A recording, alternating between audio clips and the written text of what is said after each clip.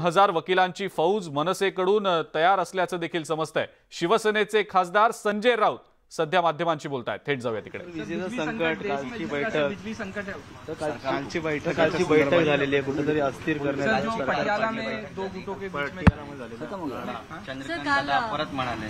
साहेबांबरोबर बैठक झाली होती. बिजली संकट. एक वर्ष देवेंद्र फडणवीस होते. तो बिजली संकट चला. की बड़ी खबर रेडी देखो कुछ पॉलिटिकल हा सर. रेडी जिस तरह से देश सर काल एकच सर काल उद्धव ठाकरेंनी बैठक घेतली आपल्या प्रवक्त्यांबरोबर खासदार आमदार आणि त्याच्यामध्ये अनेक जण होते. जशाच तसे उत्तर देण्याचं एकूणच सेनेची खेळी आहे असं दिसतंय. खेळी कसली? तो शिवसेनेचा धर्म आणि स्वभाव आहे. जशाच तसं उत्तर आम्ही नेहमीच देत असतो. हे आमचे बाळकडू आहे. काल शिवसेना पक्षप्रमुखांनी आणि राज्याच्या मुख्यमंत्र्यांनी वर्षावर सगळ्यांची बैठक घेतली मग खासदारांची एक वेगळी बैठक घेतली प्रवक्त्यांची वेगळी बैठक घेतली. आणि त्यांनी काही नक्कीच सूचना दिलेल्या आहेत. आणि त्या सूचनांचं पालन नक्कीच योग्य पद्धतीनं होईल.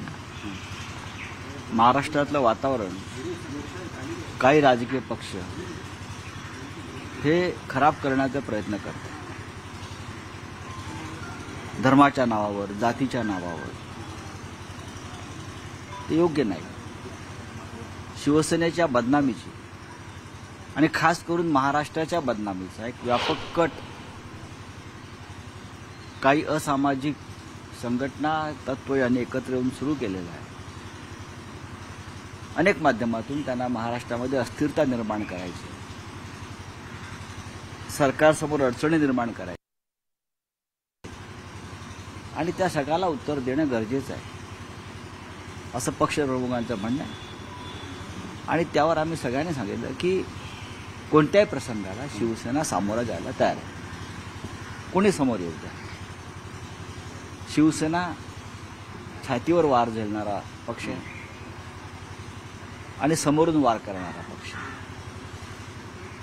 हे पाठीमागचे वार आमच्यात चालत नाही सर, सत्तेत आहात.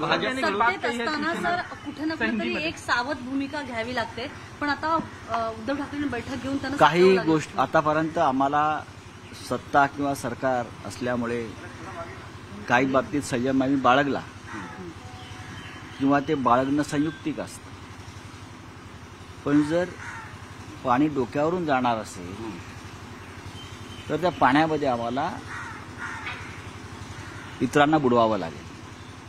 मग त्यांना गटांगळा खाव्या लागतात आम्हाला लढण्याचं प्रशिक्षण देण्याची गरज नाही. आणि आम्हाला भाडोत्री लोकही लागत नाहीत लढण्यासाठी. आम्ही दुसऱ्याच्या खांद्यावरती बंदुका ठेवून लढत नाही. आमची हत्यारं आमचीच आहेत.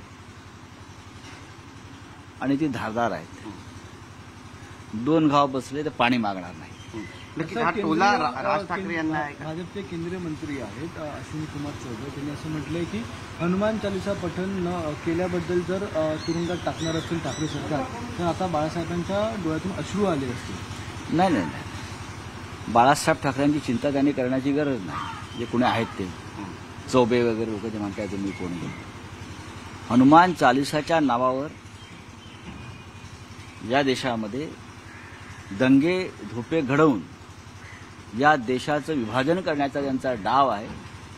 त्यांच्याही शिवसेना लढते आहे. याबद्दल बाळासाहेब ठाकरे आमच्यावरती फुलं उधळत असतील.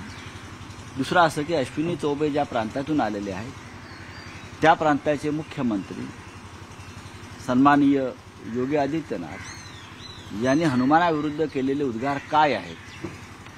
हनुमान एक दलित व्यक्ती है हनुमान भगवान नहीं है। हनुमान जंगली एक वानर है या कोई और ऐसा। असं वक्तव्य करणारे आम्हाला हनुमान चालिसाविषयी बोलत असतील तर अश्विनी चौबेने पुन्हा एकदा योगी चालिसा वाचायला पाहिजे बनवायला पाहिजे. आम्हाला हनुमान माहिती आहेत काय ते? महाराष्ट्र हा राम आणि हनुमानाचा पूजकच आहे. बाळासाहेब ठाकरेंची चिंता तुम्ही करू नका. बाळासाहेब ठाकरेंच्या शिवसेनेशी तुम्ही जी बेमानी केली त्याबद्दल कदाचित बाळासाहेबांच्या डोळ्यामध्ये एखादा अश्रू तरळला असेल. अश्विनी कुमार चौबे ने जो कहा है कि बाळासाहेब ठाकरे के आँखों पानी आता अगर बाला ठाकरे जी की चिंता करने की लोगों को ज़रूरत नहीं. है प्रखर हिंदुत्ववादी शिवसेना जिनके प्रमुख शिवसेना प्रमुख बाला साहब ठाकरे थे उस शिवसेना के साथ आप लोगों ने किस प्रकार से गद्दारी की बेईमानी की? ये देखकर बाला साहब ठाकरे शायद उनके आँख भर हो गए भरे हो गए पानी से। हनुमान चालीसे का नाम पर आप लोग जो राजनीति कर रहे हो, आप लोग जो देश विभाजन का काम कर रहे हो, महाराष्ट्र को अस्थिर और बदनाम करने का काम कर रहे हो, और हम आपसे लड़ रहे हैं, ये देखकर बाला साहब ठाकरे ज़रूर खुश तो बाला साहब ठाकरे जी के बारे में आप हमें मत बताइए, आप अपना देख लीजिए। आपके जो नेता है, आदरणीय योगी जी, हनुमान जी के बारे में उनके क्या क्या वक्तव्य था देखिए हनुमान दलित है, उनकी पूजा करने की ज़रूरत नहीं, ये आपके वक्तव्य है। अभी आपका बजरंग बली के प्रेमी बन गए, छोड़ दीजिए। जब बोलना शुरू करूँगा तो गड़बड़ हो जाएगी। राज ठाकरेंच्या सभेला परवानगी देण्यात आलेली आहे. या तर त्यांच्यावरही सेडिशनचा किंवा मला राजद्रोहाचा- नाही. राजद्रोहाच्या कायद्यासंदर्भात काही नियम असतात काही विषय असतात. जर कोणी राजद्रोहासारखा गुन्हा केला असेल तर देशामध्ये सर्वत्र अशा प्रकारचे गुन्हे दाखल होतात महाराष्ट्रातच नाही. प्रधानमंत्र्यांविरुद्ध एखादं ट्विट केलं म्हणून सुद्धा राजद्रोह केला जा- दाखल होतो आहे किंवा कोणीतरी एखाद्या स्टँडअप कॉमेडियननं सहज विनोद केला प्रधानमंत्र्यांवरती किंवा सरकारवर केंद्राच्या. त्यांच्यावर सुद्धा राजद्रोहाचे गुन्हे दाखल करून त्यांना तुरुंगात टाकलेले आहे. आपको मालूम होगा सबको. त्याच्यामुळे हे काय नवीन नाहीये. सोशल मीडियावरती एखादी पोस्ट टाकली प्रधानमंत्र्यांविरुद्ध किंवा योगींविरुद्ध तरी राजद्रोहाचा गुन्हा दाखल होतो. तर राजद्रोहाचा गुन्ह्याविषयी व्यापक चर्चा होऊ द्या. आम्ही करू. पंजाबमध्ये पंजाब पंजाबमध्ये काय संदीप देशपांडे. कोण हे? बाबरी काय? का बाबरीशी संबंध. हे जे कोणी बोलतायत आता हिंदुत्ववादी कोणी जे अचानक झालेले आहेत हिंदुत्ववादाचं कातळं ज्या लोकांनी आता पांघरलं आहे ते कातळं सुद्धा भाड्याचं आहे. एकोणीसशे ब्याण्णवची दंगल विसरले का? की ज्याच्यामध्ये शिवसैनिकांनी बलिदान केलं अयोध्येच्या आंदोलनामध्ये शिवसैनिकांनी केलेला त्याग हे विसरले का? आम्हाला हिंदुत्व भाड्याने घ्यावं लागत नाही ते आमच्या रक्तामध्ये आहे. आम्ही कोणाला वापरू देत नाही. ज्या क्षणी आम्हाला वाटलं की आमचा वापर होतोय त्या क्षणी आम्ही लात मारून बाहेर पडणारे स्वाभिमानी महाराष्ट्राचे लोक आहोत. छत्रपती शिवाजी महाराज ज्या पद्धतीनं औरंगजेबाच्या दरबारातून बाहेर पडलेले आहेत स्वाभिमान म्हणून त्याच पद्धतीनं शिवसेना हिंदुत्वाचा अपमान होतो हे लक्षात आल्यावरती युतीमधून बाहेर पडलेली आहे आणि स्वाभिमानानं आज उभे आहे. आम्हाला कोणीही हिंदुत्व शिकवू नये. तुम्ही अडचणीत या. नक्कीच. काल पंजाबमध्ये हिंसक वळण पाहायला मिळालं. कुठेतरी दुसरं असं आहे की कोणाच्या वाढदिवसाला भैया नावाचा केप कोण कापत होतं?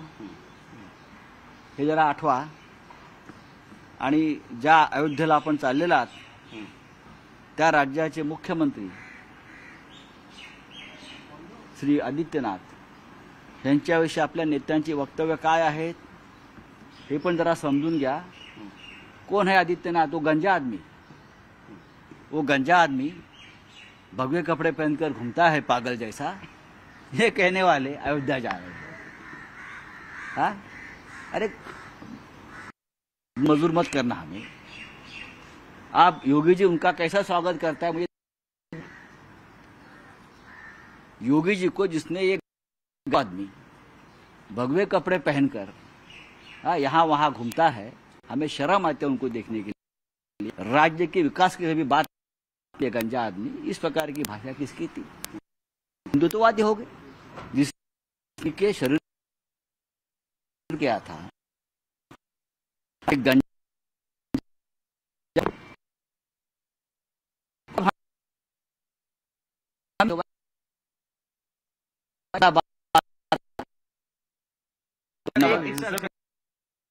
जो झाला होता राडा त्या सर सर आज सूर्यग्रहण आहे कुणाच्या तर आपण पाहतोय शिवसेनेचे खासदार संजय राऊत यांनी अनेक महत्त्वाच्या मुद्द्यांवर भाष्य केलेलं आहे. योगींबद्दल अचानक मतपरिवर्तन कसं काय झालं असा सवाल त्यांनी उपस्थित केलेला आहे. सोबतच शिवसेना स्वाभिमान जपते असं म्हणत शिवसेनेला बदनाम केलं जात आहे मात्र शिवसेनेला अंगावर छातीवर वार झेलण्याची सवय असल्याचंही संजय राऊत यांनी म्हटलेलं आहे. जशास तसं उत्तर देण्याची शिवसेनेची पद्धत आहे. त्याच अनुषंगानं शिवसेनेचे पक्षप्रमुख आणि राज्याचे मुख्यमंत्री उद्धव ठाकरे यांनी शिवसेनेच्या प्रवक्त्यांना खासदारांना तसे आदेश दिलेत असंही संजय राऊत म्हणाले. विरोधकांना अनेक टोले संजय राऊत यांनी लगावलेले आहेत. शिवसेना हा स्वाभिमान जपणारा पक्ष असल्याचं संजय राऊत यांनी म्हटलेलं आहे. उत्तर प्रदेशचे मुख्यमंत्री योगी आदित्यनाथ यांच्याबद्दल अचानक मतपरिवर्तन कसं काय झालं असा सवाल त्यांनी मनसेला विचारलाय.